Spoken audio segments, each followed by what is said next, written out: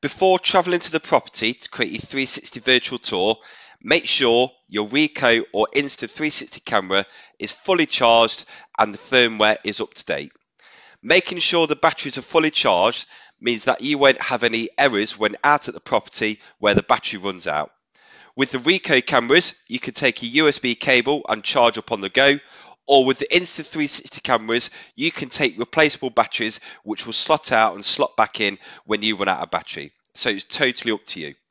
With regards to the firmware, just get in touch with our support team who can let you know if your firmware is up to date on your device, which means the cameras will perform to the best of its ability when connected to the Aperture Hive app.